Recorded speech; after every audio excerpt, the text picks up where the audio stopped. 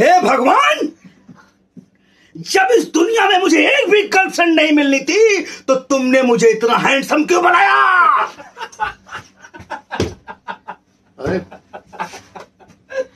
अरे